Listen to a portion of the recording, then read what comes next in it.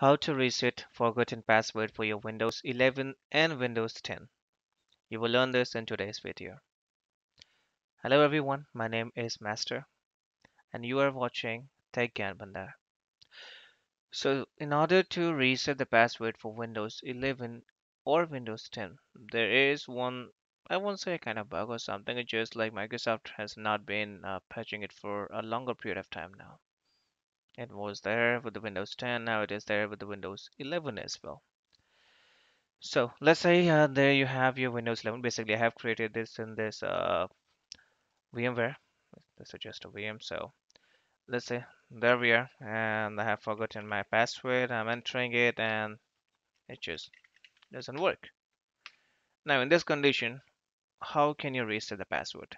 And you do not even have any kind of online account attached to it. Nothing else says, so you could have reset the password. Let's see if I go here it would ask me for my security questions, which I don't know even remember. So how do I reset the password for this now? Best way here is you would need a bootable pen drive. So if you're using Windows 11, I'll recommend you to have the Windows 11 bootable pen drive. If you have Windows 10, so in those cases you may have either Windows 11 or maybe Windows 10. Both would work there. So what you gotta do is first just shut your system down. All right let's shut it down and after this you need to plug in your bootable pen drive. So basically I already have the ISO mounted up in here but you need the bootable pen drive okay? Now what you have to do is simply boot your machine up using the bootable pen drive okay? Let's power this on and we are going to boot from the ISO so there we go and it should look similar on your screen as well once you are booting it up from the pen drive. Now let's just wait for this to come up. There we go. All right, we got this. Now here you can hit the shift and F10 which should bring this nice black command prompt. Now, first thing you gotta make sure here is that which one is your installation drive for your Windows itself, right? It does happen sometimes, like when you attach any pen drive or maybe some other bootable drive thing to your machine, it might change the drive letter for your OS installation. I have seen these things happening, so best practice would be to run this command first, that is bcd edit. Now what it does, it will give you the information about your boot configurations, right? Let's say you, there you go, boot loader or Windows Boot Manager. So here you can easily find out that, okay, your Windows is installed in partition C or it may be partition D for you or maybe some other partition, right? Depends on the scenario. Now we just simply need to navigate to our C drive or our Windows installation drive. Now here we can navigate to Windows System 32. There we go. Now there are two files what we have got to do something with. First is called utilman. So we are going to rename the utilman.exe to utilman.exe.old. All right, that's done. Now we are going to rename cmd.exe to utilman.exe. That's also done. That's it. Now you can simply restart your machine. There we go. And this time, let the machine boot up normally. You don't need to boot it from the pen drive anymore. It's booting up. Let's give it its time. There we go. Well, just ignore this is just something from the VMware side. So there we go. We have our Windows 11 booted up fine. Now we still see this thing. If we enter the password it will still not work. But what we have to do here now just you see this little icon here just simply click on it.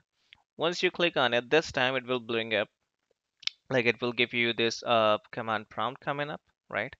Earlier if you would have clicked on this particular icon it would have given you something else. But as we just renamed utilman and cmd to the utilman. So basically when you click on this, what it does, it is directly calling that utilman.exe application there in the background, right?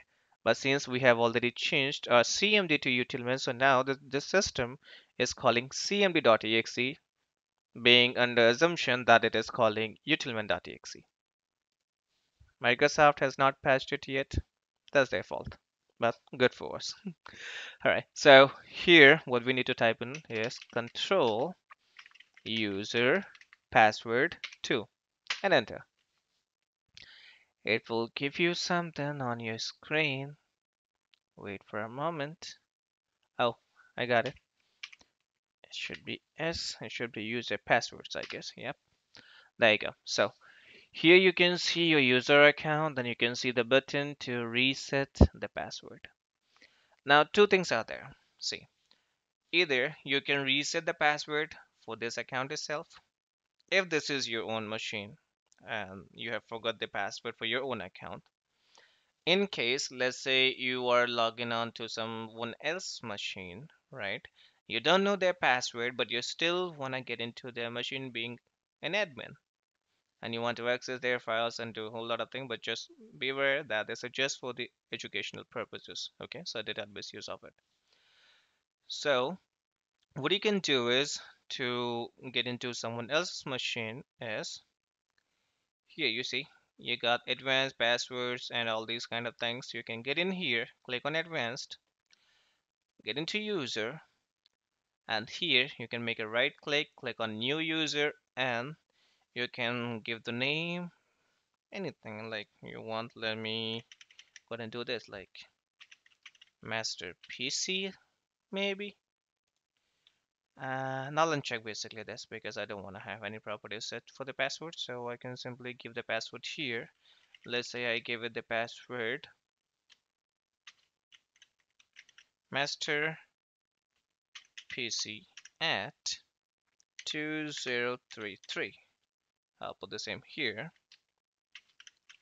Master PC at 2033. We click on create and that is done. So now you can see the master PC user has been created. Now what we need to do here is we need to add this user to admins group. Okay. If you do not do it, that simply means you are not going to become the admin for this machine. So you may not be able to access the files for other users who are there on this machine. In order to do that, you need to be the admin first. To do that, come to groups. You can see administrators here. Double click on it. And you can see this add button. Just simply click on add. Put the name of your newly created username, check names, and nope, we don't want this. We want master PC Oh, but didn't find it. I guess so. I could put something in there. Check names. Nope, not yet. Hmm, let me see what is wrong going on in here. And master PC. Okay, check names. There we go. We got it now. Click OK. Click apply. OK. That is done. So now we have one user created with the name master PC we have added that user to the administrators group. We have reset the password as well for that. Now we can simply close this one. We can come back here. Now let's say, as I said, so if you need to reset the password for this current user, like for the master, just simply click on reset. Give the password. Uh, I'm giving the password here. Master PC at, let's say 2032. The same password what we gave for the other user there.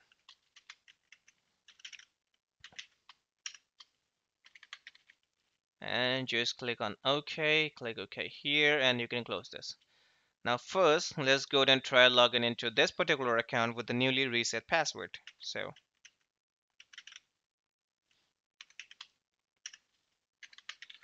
there you go. I have put the password and you can see the password. And if we go here, there you can see we are logged in and we will not lose any data. It shows that we have changed the password. That's it. Now let's say if you want to switch the user, right? You can do that as well. So you can see that the user is already coming up in here to switch master PC what we just created. We click on it. It will ask us for the password. You put the password in here.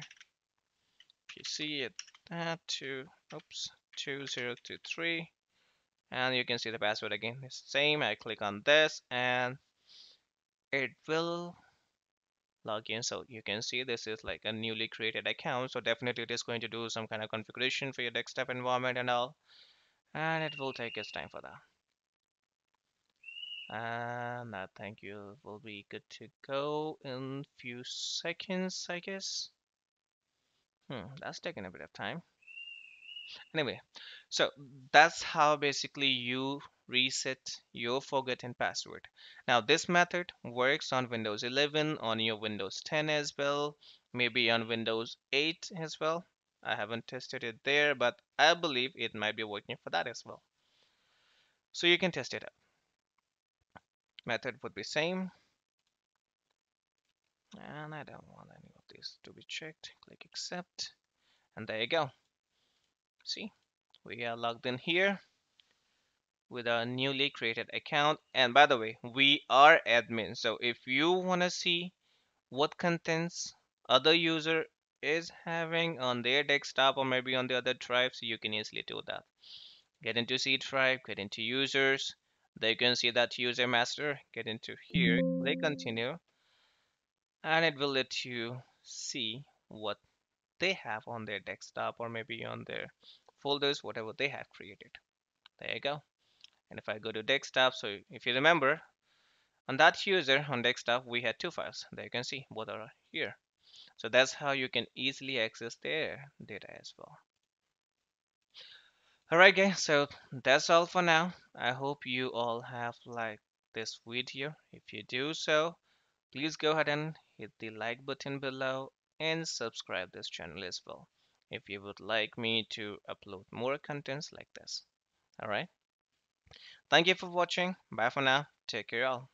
Bye bye.